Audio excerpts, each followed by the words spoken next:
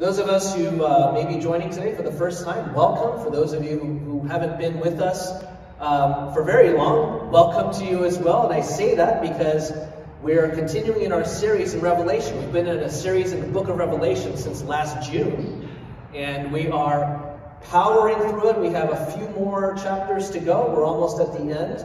Um, Jesus is coming soon. Amen. He's coming soon. Literally, he's coming soon. He's coming in the next chapter. Okay, he's coming back. So, so we're getting there. We're getting there. Um, this is our series within our series, right? The tribulation, terror, and triumph. And we're looking at the final part. Part 10 Babylon from wealth to waste is the title of the message for today. I want you to think about the term religious devotion. Think about that term. What are the pictures that come to mind for you when we, when we hear the term religious devotion, it's probably something like this, right? People praying in a church or a temple, missionaries in a remote place in the world, or perhaps a congregation singing together passionately. But Scripture reveals something that we need to know. In the very last days, the very last days, there will be a religion of an entirely new order that will permeate the earth. And the images that best represent that coming religion, and I say religion loosely, and we'll look at it, it's in a sense a religion. It will be an entirely new one. And it will look a lot more like Wall Street than it will the walls of a church. In fact, I like this picture because it looks like that guy's literally preaching with his mic in the middle of Wall Street with his iPad. He looks inspired too. Right? You know, during my seminary studies, I once did a project on the theology of shopping malls. It was part of my theology and culture class, and it was a really interesting study for me as I walked around, literally did this research, took a lot of pictures, and, and thought about this deeply the theology of shopping malls. Now, I know malls aren't as popular nowadays as they once were, but I believe what I found in my study many years ago still holds true. Think about this the mall is basically a nice, clean, large building where people gather, often on a Sunday morning or a Sunday afternoon, and they're there to worship. Not in a religious sense, of course, but worship in the sense of giving their affection, right? Giving their affection to themselves and what they're purchasing for themselves, giving their affection to a certain celebrity that endorses a product that they're so longing to get for themselves. They come to worship material goods. They're offering, they give offering. Their offering is the tap of a credit card or the swipe of a credit card. And hopefully they'll hear some nice songs while they're there too, right? And then walk away, leave the building, hopefully feeling a little better about themselves. Doesn't that sound like the average experience of a churchgoer these days? Hear some nice songs, feel a little better about yourself when you leave, give your offering, you know, move on with life. It's interesting um, because the parallels between the mall and the church are, are, are, there. And as time goes on, those parallels will only get stronger to the extent where at one point, especially in the Great Tribulation, those parallel lines will become one line. It will become a religion led by Antichrist that is the religion of commerce, a religion of massive materialism and luxury. This will be the hallmark of the coming Babylon. Of the coming Babylon. Today we're going to close out our study on the tribulation period as we come to chapter 18 of this great book. And that being said, I think this is a good time for us to, to take a step back, and for, especially for those who haven't been part of our series from the beginning, and you're just coming into Revelation 18, perhaps for the first time here in our series, this hopefully will be helpful to you as well as we kind of take a step back and, and look at some of the things that, that we've kind of a summary, if you will, of what we've learned so far about the events in Revelation, hopefully bring us up to speed a little bit. First of all, let's start with this. The book of Revelation was written by who? Apostle? Say it. Apostle? John, I think is what you said, right? Apostle John, good, let's start there. All right, so Revelation written by Apostle John around AD 95 while he was exiled on the Greek island of Patmos in the Aegean Sea. It's the last book in the canon of Scripture, both in terms of the date of its writing and also in terms of its order. It's the last book in the canon of Scripture, last book of the Bible.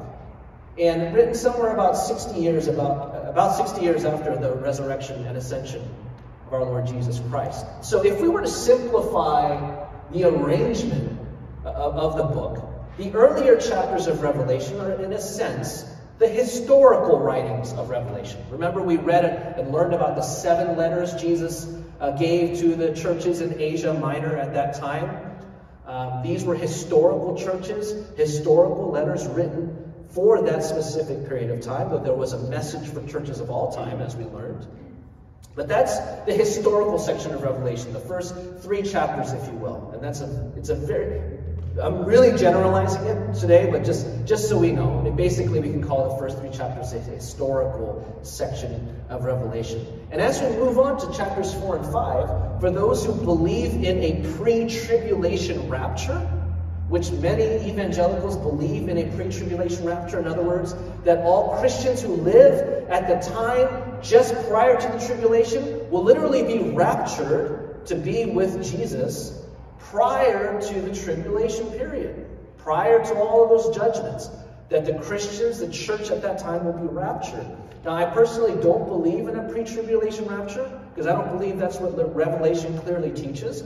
But there's a lot of evangelicals who do believe in a pre-tribulation rapture. Some of you in, in, our, in our ministry, in our church, believe in a pre-tribulation rapture. And that's totally fine. I mean, it's, it's not an area that we need to be divided over because we really, at the end, don't really know for sure. I, I believe we don't know for sure. If it happens, praise God, right? But that's, that's what's going to happen basically after chapter 3. So if there is a pre-tribulation rapture, it happens after chapter 3. Then chapters 4 and 5 are like an interlude an interlude into this whole 10 part series that we've been doing on the tribulation. So 4 and 5 are the interlude. Chapters 6 through 18 really are talking about the seven year tribulation period, the latter three and a half years being called the Great Tribulation. So, what we've been looking at these last several months really are these achronological visions Apostle John had Uh, of the tribulation. And again, we have to remember, Revelation 6 through 18 is not in chronological order. Okay, it's just a series of visions that Apostle John was receiving. God was giving him pieces to the puzzle of what's going to happen during the tribulation period. Okay, so they actually overlap in terms of the timing. They're not in chronological order. Daniel chapter 9 is the original prophecy of this seven-year tribulation. Again, the first three and a half years, the, the tribulation, and the final three and a half years being the great tribulation. Then, chapter 19 is when Jesus returns. That's next chapter, all right? We're almost there. Chapter 19, Jesus returns. He establishes his millennial reign, his thousand year reign upon the earth with the church, the final defeat of Satan and evil at the end of that period, and the great white throne judgment. This is the final judgment that we've all heard of for a very long time in the church, as every human soul gives an account of their lives before the great judge, Jesus Christ. Those who rebelled against him and remained in sin will be subject to an eternity in hell, separated from God. And those who trusted in him will be ushered into their eternal joy in the new heavens and new earth. There's the book of Revelation in five minutes. Any questions? Are okay so far? Now, I know all of you followed that to a T, but in case any of you are a little tired today, and just kind of like, just literally as I'm talking, I look like just my mouth is moving and nothing's happening cognitively. Just remember two words, okay? Jesus wins. If you don't remember anything else from this entire book or even today's message, just remember Jesus wins. All right? Now, with this larger framework in mind, the visions that we read today in chapter 18 are largely at the end of this seven year tribulation period, really at the end of the story. And as we noted last week, when we looked at Revelation chapter 17, it, it was the prophetic uh, vision of a literal future Babylon 2.0 the re-emergence of the city of Babylon that will become the capital of the entire world. That's what Revelation 17 makes very clear to us. Now, here's some Bible trivia that you might find very interesting. This well, ancient Babylon was located somewhere in southern Iraq, modern day southern Iraq. Okay? The Garden of Eden is most, was most likely located somewhere in southern Iraq. We know that from the Euphrates River and the Tigris River that's spoken of the earlier part of Genesis as to where the Garden of Eden was. It's not a garden anymore. Okay, it's, it's wasteland, it's desert now, okay, in southern Iraq. But that's where the Garden of Eden most likely was located. And if you think about it, that's essentially kind of like the center of the world. So the Garden of Eden, where creation began, where, where really the whole story began, and the Babylon that will come in the tribulation are located in the same place. The story will begin and the story will end in what we know as southern Iraq. Really interesting stuff there, right? So, what happens here? God begins to pour out his judgments um, in the tribulation period. And in this first three and a half years, as initially the seal judgments are poured out, you know, judgment has begun. But someone is going to arise in that period. It's actually the first seal judgment. There's going to be the rise of a very charismatic figure known as Antichrist. The Antichrist, capital A, whose initial platform will be the promise of world peace. So everyone will know something crazy is happening in the world. Judgments are starting to fall, and these catastrophic things are starting to happen. People are going to know something weird's going on. And in that period, Antichrist will arise and will promise safety, security, wealth, peace in that time. And because of that, we'll gain a large following. In fact, it will be so large that it will be the entire world that will begin to follow Antichrist. His influence will grow very, very quickly and in a very just vast, just crazy, massive influence that he will have as people grow increasingly rebellious against God. It's all going to happen, a perfect storm at the same time. And the future city that will be the capital, the center of all of this, will be this future Babylon that will arise. But what did we learn at the end here?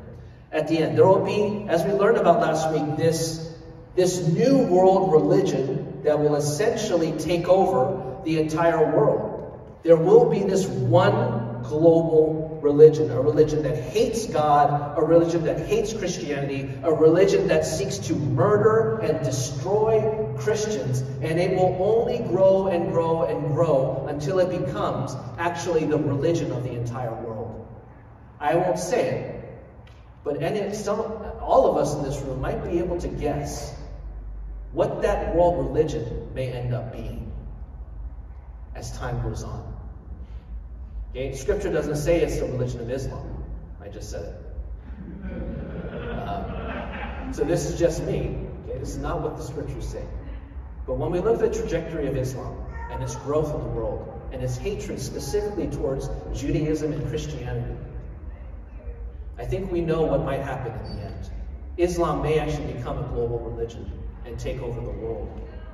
But what do we what do we hear? Now, Islam's not the enemy. Islam is the medium of the enemy.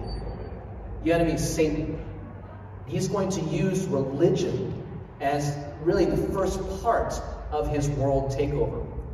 That's the harlot we learned about last Sunday. The harlot. This great world religion that's going to take place here. And we saw it in Revelation chapter 17. But what do we see at the end?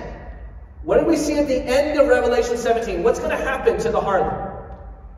Do you re recall? The harlot will actually be destroyed from within. Why? Antichrist and the ten kingdom confederation that we learned about last Sunday will actually, scripture says, prophesies, will destroy the harlot. So here's what I believe is going to, what scripture is, is telling us through that. Antichrist will rise in influence and power. And one of the primary ways he will do it is through the use of religion, is through the use potentially of a religion like Islam, to grow in world prominence, wealth, authority, until he reaches that point. And when he reaches that point where he's literally taken over the world, at that point he will no longer need that religion to gain more prominence for himself. He will be essentially the God of the world.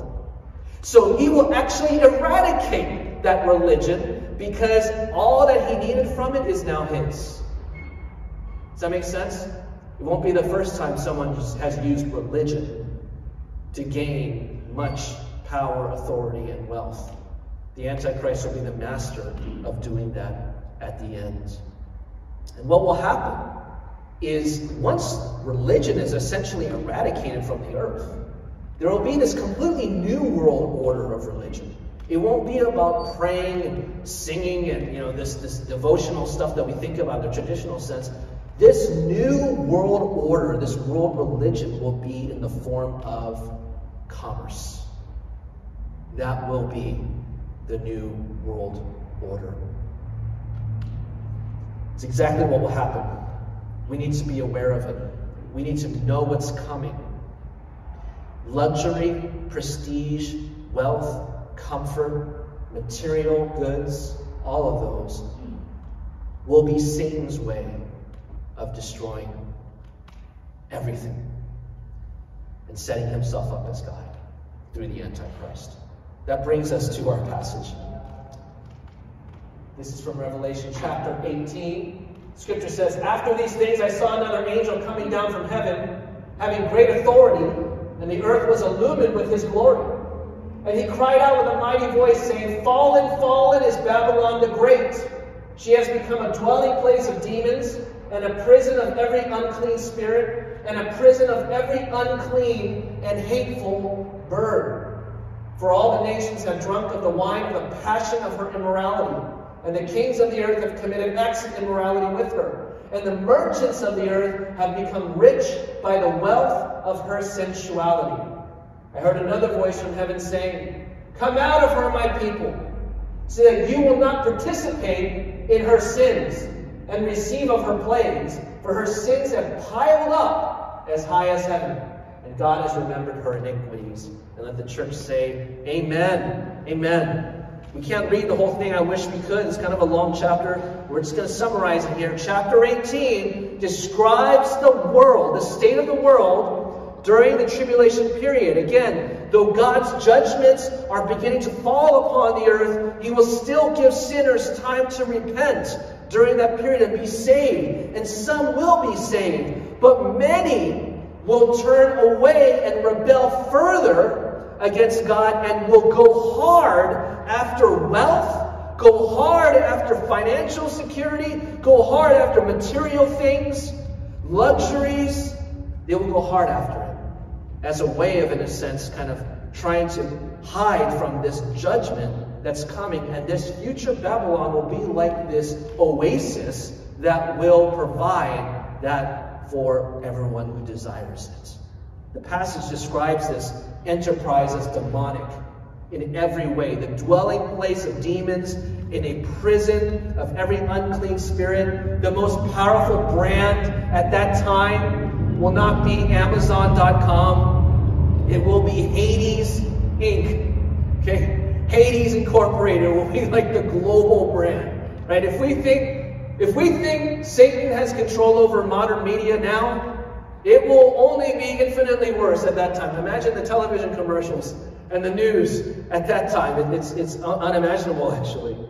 Verse 3 declared, The kings of the earth have committed acts of immorality with her, and the merchants of the earth have become rich by the wealth of her sensuality. This language of immorality and sensuality clearly reference the demonic lust of mankind for wealth and riches. And this imagery of seduction, it's no accident here, as that reflects the state of the sinful heart at its climax. Now think about it. If we had nothing holding us back, if our sinful nature was left to just run wild, what would happen? In our greed, we would just destroy ourselves.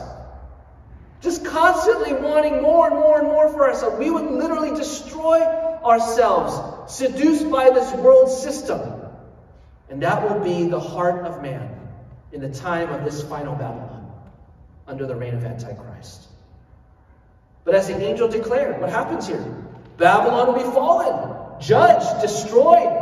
In fact, it could be that the last judgment, the seventh bowl judgment, may be the one that actually destroys Babylon. Because it, it, back in Revelation 16, it, it talks about how Babylon will be remembered before God to give her the cup of his fierce wrath, is what Scripture says. So again, God will bring judgment, destroy the evil empire of Antichrist here in chapter 18. And here's what's interesting. Verse 9 declares that the kings of the earth that enjoy these riches will weep loudly and lament as they see the destruction of Babylon right before their eyes. They won't be weeping in repentance before God. They won't be, they won't be weeping at the state of their sinful hearts. No, they will be weeping because their God, which is riches and luxury, will be no more. That's why they'll be weeping. If you own something that would make you weep if you had to let it go, we may need to check our hearts. Right? Now, let me let me say that, of course, if if we lost our home, you, you probably would cry. I mean, that would be devastating, right? Or, or lost a family heirloom or something with a lot of value like that or meaning. Yes, I, I, get that. We would probably weep if that were to happen. But I'm talking about more frivolous things. If there's something you own that you would literally be weeping if, if you were to let it go, if it got lost or stolen, then it could very well be that you don't own it, but it probably owns you. Something that we just need to check our hearts over, right? That's what those kings will be doing. And later in verse 19, it says the wealthy merchants will, will mourn with sackcloth and ashes, saying, Woe, woe, the great city, in which all who had ships at sea became rich by her wealth. For in one hour she has been laid waste from wealth to waste. Now, we've all felt the effects of the backup at the ports. Amen? Like, I don't know what's going on. I don't know if this has to do with the ports, but my family really likes eating bagels and cream cheese in the morning. Have any of you noticed? You can't find cream cheese anywhere. It's like the weirdest thing. Every time I go to get cream, it's gone. Like it, it's like what is going on with cream cheese? It's like the weirdest thing. I, I know, you know, not just that, but like, you know, there's so much going on at the ports. There's such a backup that, that you literally can't find stuff nowadays. We've all felt the effects of that. Well, in this future Babylon, what this what the passage is declaring is that there will be a massive shipping system where all Babylon's goods will be distributed throughout the world through this massive system of trade through, through the sea, right? Through these massive ships that will deliver the goods. So it talks about how the merchants of the sea will be lamenting, weeping. They will see that the riches, the system they built their life upon was crumbling right before their eyes. And the verse says that they will mourn over the, over the loss of Babylon as if they are mourning the loss of a de- dead person, the loss of a loved one. It says they will mourn with dust and ashes. They will actually be mourning as if they're mourning over the death of a loved one, like they're going to be mourning over the loss of their goods. That's what's going to happen. They know the judgment they were running away from is coming soon, and they won't be able to escape it. All right, then. What does all this mean for us? Let's turn to one of Apostle John's earlier epistles, 1 John chapter 2, verses 15 through 17. This is God's message for us. Do not love the world, nor the things in the world. If anyone loves the world, the love of the Father is not in him. For all that is in the world, the lust of the flesh, the lust of the eyes, the boastful pride of life. In other words, everything that's happening in Revelation chapter 17 and 18 is not from the Father, it's from the world. The world is passing away, and also its lusts. Yeah, it sure will. Revelation 18 makes that clear. But the one who does the will of God lives forever. If you read between the lines here, 1 John 2, Revelation 18, what is clear is this. Our sinful flesh does love the world, doesn't it? Our sinful nature, it does love the world. The allure of comfort, luxury, pleasure, wealth. In our sinful nature, we're like, amen to those? Yeah, I'll take some of that, right? All of that comes down to one thing, doesn't it? Idolatry. Idolatry, which is arguably the worst sin that's plagued mankind from the beginning of time. I mean, you look back at the at the at the, the Old Testament and the, what happened with the Israelites. What was their number one vice? What what really brought them down? It was the sin of idolatry. It plagued them. It led to their failures and their subsequent judgments. And when you read the Old Testament, you look through this and you're like, oh, it's a different time, you know, different situation, very different people. Let's remember something. The sinful nature has one DNA. it's something we all share. And it doesn't look that different between one person or another. Sin is sin. And when we read of sin in the Old Testament, when we read of the failures of the Israelites in the Old Testament, we are reading of our story. They represent us. It's the same sinful nature.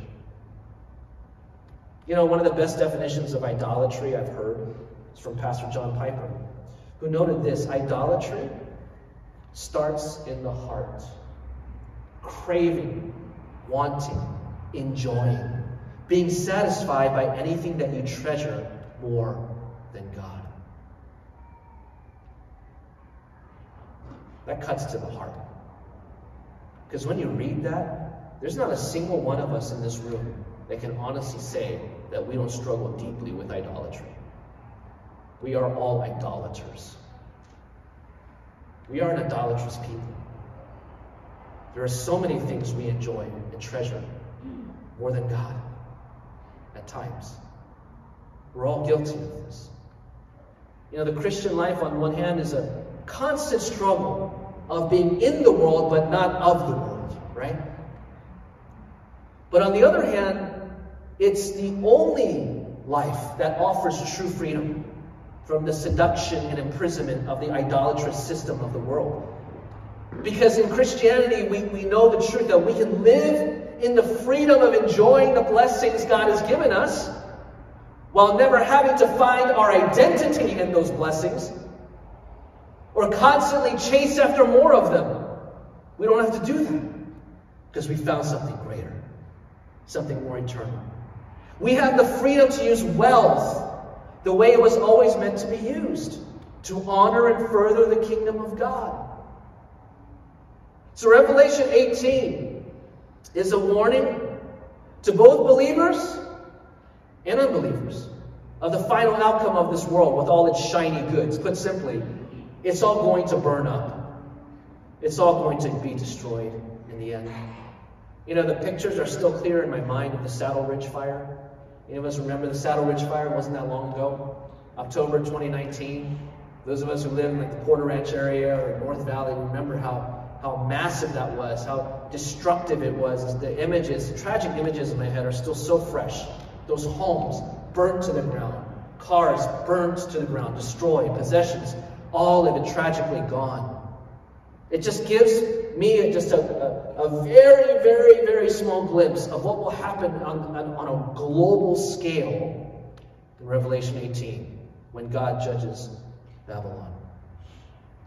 We can all try to run and hide from the coming judgment, chasing after material things as a way of distraction or a way of escape, and Christians are guilty of this too, chasing after these things. But deep down inside, all of us know They're all temporary. And as we chase after these things and anything else that takes our eyes off of God, the clock is still ticking. The judgment is still coming. We can't run or hide from the judge of the world. And so, what did our, the judge of the world do in his mercy? He gave us another option. Through the cross of Jesus Christ, Jesus offers us another option. We don't have to run from the judge, we can run to the judge. And in fact, when we do that, we realize that the judge is also the Savior running toward us. Not to condemn, but to embrace, to forgive, and to give us something greater that the world cannot offer. There is no true security in the world, is there? So, where is your hope? Where is our hope? It's in the gospel of Jesus Christ our identity, our security, our purpose, our fulfillment in the Savior who gave his life to give us life eternal. So let's close with two simple applications to help us. First, Apostle Paul declared this in Colossians 3 5 and 6. Therefore, consider the members of your earthly body as dead to immorality, impurity, passion, evil desire, and greed which amounts to idolatry. For it is because of these things that the wrath of God will come upon the sons of disobedience. Yeah, that's right, because that's what's going to happen in Revelation 17 and 18. Indeed, God will impart his wrath upon those who continue to live in idolatry and rebellion against him. And he noted specifically here the areas of idolatry that plague our souls the most. Immorality, which is sexual immorality, pornography, fornication, marital unfaithfulness. Those things will lead to judgment and death. Impurity, which is compromise with sin. Passion, which is another word for anger. Evil desire, coveting, that which dishonors God. And greed, this constant pursuit for more.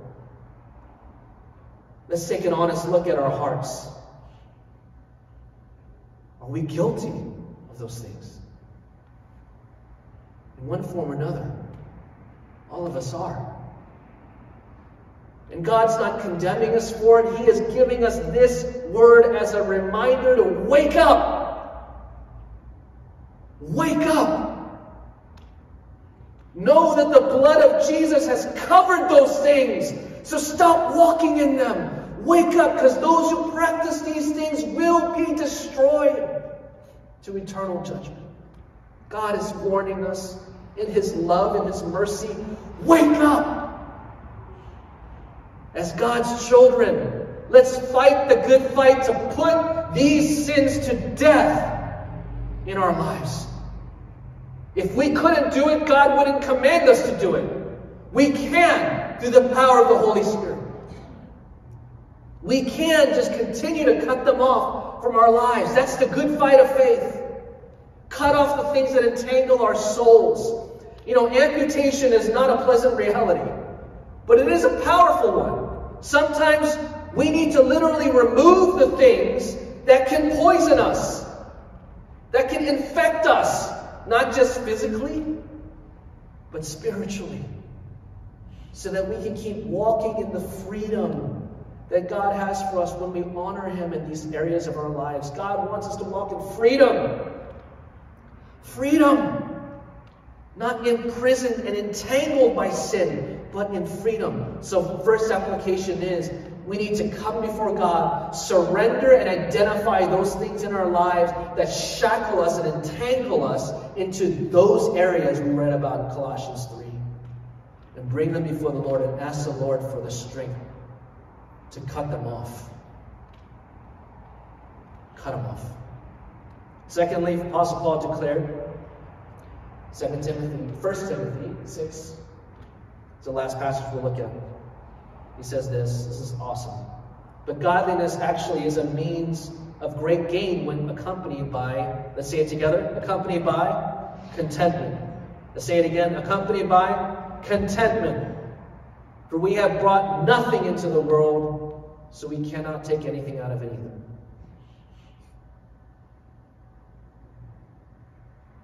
That's right. If we have food and covering, with these we shall be content. But those who want to get rich fall into temptation and a snare and many foolish desires, harmful desires, which plunge men into ruin and destruction. Here's our second point of application learn contentment. The discipline of contentment is so powerful. It gives us so much freedom and focus in our walk with Christ and it protects us from ruin and destruction. Listen, we all know what this is like. When we are constantly chasing the upgrade, it's really such an all consuming quest, isn't it? Literally, you're sitting there for hours in front of your computer or your phone, your laptop, your tablet, just doing research on end, looking at reviews, wondering, will this one work? Will that one work? You know, uh, let's try this one. If it doesn't work out, we return it and get a different one. It's this all-consuming pursuit when we're just chasing the upgrade. And isn't that exactly what the world wants us to do? Chasing the upgrade. That's, that's the whole machine works like that, doesn't it? And it just enslaves us. It's like it's like we're walking into a prison cell and locking the door ourselves and just voluntarily walking in. That's what we do. Or we're constantly chasing the upgrade, constantly on our minds, takes up our time, wastes our money. You know, it even destroys the environment. Because of all those Amazon packages you keep getting. You know, it's just destroying the environment. You know, all that stuff. Come on, sustainability, people. You know, it's important, right? Right? All that stuff. It's just, it's just craziness. Now, I'm not saying you can't order stuff on Amazon. Of course, you, know, you can, and many of us do. All right? It just is what it is. But, you know, there's a certain point when you start seeing the boxes piling up and you don't even know what it is. Come on now. I'm preaching to somebody today. You don't even know what it is because you get so much stuff. I'm preaching to myself too. What is this? Oh, oh yeah. Sometimes it's for church though. oh yeah, yeah, yeah. Order that for church. But it's not always for church. Well, we all know what that's like. But practicing contentment frees us from all of this. It really does. So we can be focused on serving the purpose of God. Brothers and sisters, let's live within our means. Let's live within our means. If you're enslaved by credit card debt, that is something you need to bring before the Lord and be disciplined to get rid of that. We, we need to live within our means. Appreciate what we have and use it well. Appreciate what we have and use it well. Free ourselves from the rabbit hole of materialism. Get rid of the clutter. Get rid of the clutter. I mean, how many of us have garages that you can't park your car in because there's too much stuff in there? I mean, that's like the average home. It's like that. Three car garage, you can only fit one car in there if you're lucky, right? I mean, just get rid of the clutter. Some of us need to just leave this, leave today after this message, go home and just get rid of a bunch of stuff. And that'll be the most spiritual thing you've done all year. Like seriously. Just get rid of the clutter and don't buy more stuff to replace it, okay? That's that's that's not doesn't make sense to do that. All right? Get rid of the clutter. You'll be amazed. Sometimes just seeing just space, literally seeing physical space, it is like spiritually renewing. Like you, you look at it, and just your mind is cleared. Right? You feel a burden lifted. All right, some of us just need to do that. Get rid of the clutter. Simplify. Give things away. You know, sell stuff and, and use that money toward, you know, blessing the kingdom of God or something, right? Just free yourself from the perpetual temptation for more. For more. Why all this? Because we know what's coming. We know the system the enemy is using to destroy the world and to gain authority over the entire globe. He's going to use a system of materialism. He's going to use the Antichrist to lead a one world system that will be blinding people into thinking that luxury, wealth, pleasure, and goods will make them happy. In the end, it will lead to their destruction. We know what the enemy is going to use. So let's be aware, even now. Let's live lives that are content. Amen. Lives of contentment. Lives of contentment, just being thankful for what God has given us. Freeing ourselves from the constant need to chase for more. Now, there are opportunities maybe where God will open a door to expand our boundaries, and, and that will happen sometimes, and we need to pray through those things and, and walk through them and make wise decisions in those moments. But as in general, let's let go of that need for more. Let's learn contentment so that our hearts and our souls will be protected from ruin and destruction so that we can walk in freedom and focus as we serve God in our generation. Let's pray together.